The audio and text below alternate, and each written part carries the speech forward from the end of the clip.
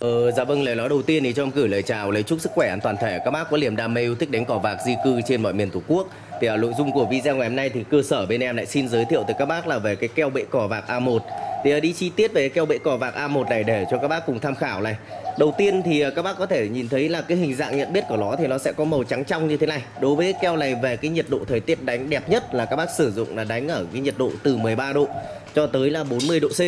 Đấy, đối với mà nhiệt độ nó hạ thấp từ 13 đến 14 15 độ ấy, đấy thì keo nó sẽ không bị co. Đấy là cái vào vụ tháng 3 các bác sử dụng đánh hoặc là cũng như là chuẩn bị đến cái tháng 9 âm lịch rồi.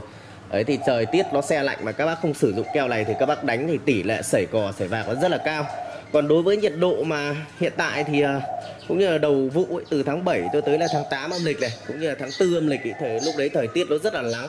Đấy thì keo này nó sẽ không bị chảy ở que ra còn à, về cái số lượng thì các bác có thể thấy là bên cơ sở em là nhập với cái số lượng rất là nhiều. Đấy, rất là nhiều video quay thực tế cho các bác rồi.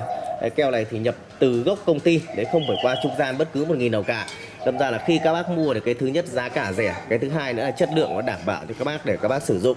Còn à, thường thường thì bên cơ sở em là sẽ đóng ra hai hũ. Một hũ là lửa cân và một hũ là một cân để phục vụ cho các bác.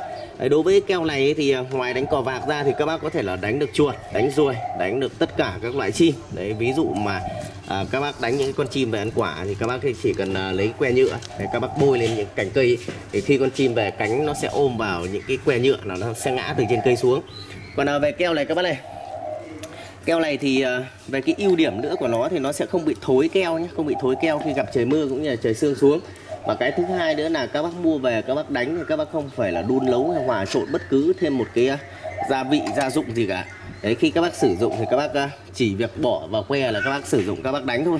Còn là hiện tại thì bây giờ bắt đầu vào đến cái chính vụ. Đấy đối với anh em miền trung thì bắt đầu là chính vụ là cò di cư cò bọ di cư đấy ở ngoài miền bắc thì chuẩn bị đón cái đợt à, cò trắng di cư đầu tiên. Cũng như là bây giờ ở miền bắc thì anh em đang chuẩn bị đánh bạc à, đang đánh bạc rất là nhiều rồi. Đấy, thực tế video em quay đến cho các bác ấy. Đấy bạc đánh được lửa đêm lúc ấy xương xuống rất là nặng nhưng keo này độ bám dính của nó cao. Đấy còn à, về keo đây các bác này thấy cái độ tơ đấy của nó bám đấy thì rất là cao luôn. Cái độ tơ này bám cao thì khi hai cái uh, cái cánh của con cò con vạc các bác đánh đấy nó ôm vào keo này thì nó sẽ không chạy được đấy một video thì xin giới thiệu tới anh em. Đấy tới các bác là về keo bẫy cò đến đây là kết thúc. Đối với bác nào có nhu cầu mua thì các bác liên hệ trực tiếp cho em thông qua cái số điện thoại em để ở góc màn hình video. Còn à, bây giờ thì em xin chào nhé. Hẹn gặp lại anh em ở những cái video lần sau.